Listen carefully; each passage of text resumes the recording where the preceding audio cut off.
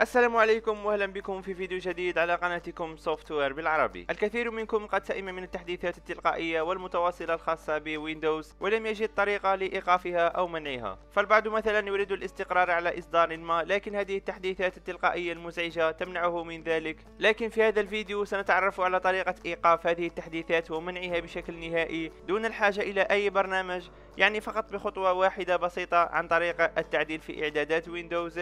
فقبل أن نبدأ في الشرح أطلب منكم دعم هذا الفيديو بلايك والاشتراك في القناة إذا كنتم غير مشتركين حتى يصلكم كل جديد وننطلق في الشرح.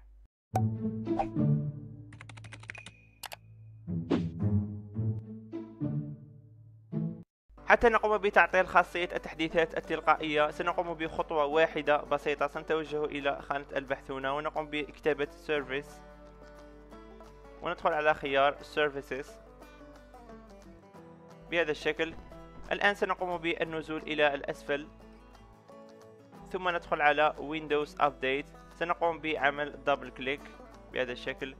وهنا كما ترون لدينا خيار اوتوماتيك يعني أن النظام سيقوم بتحميل التحديثات بشكل اوتوماتيكي فلنلقي نظرة على التحديثات حتى نتأكد من ذلك. سنتوجه إلى settings ثم إلى update and security. كما ترون ها هو تحديث يتحمل بشكل أوتوماتيكي. يعني دائما ما تكون لدينا هنا يعني تحميلات بشكل أوتوماتيكي وهذا ما يزعج البعض أو الأغلبية.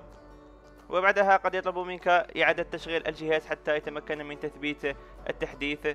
فكل ما علينا فعله للتخلص من هذا المشكل سنرجع إلى ال services بهذا الشكل ثم نعود إلى Windows Update. وهنا هذا الخيار اوتوماتيك سنقوم بإلغائه تماما Disable بهذا الشكل ثم بعد ذلك سنقوم بعمل Apply ثم OK بهذا الشكل. والآن سنتوجه مرة ثانية إلى Windows and Update. وسترون بأن خاصية التحديث أصبحت معطلة تماما كما ترون.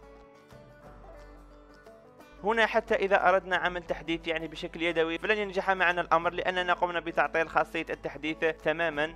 إذا أردتم عمل تحديثات في المستقبل فيمكنكم الرجوع إلى Windows Update عبر ال services كما شرحت وتقومون بإرجاعها إلى manual أو إلى أوتوماتيك وبعدها سيمكنكم إجراء التحديث.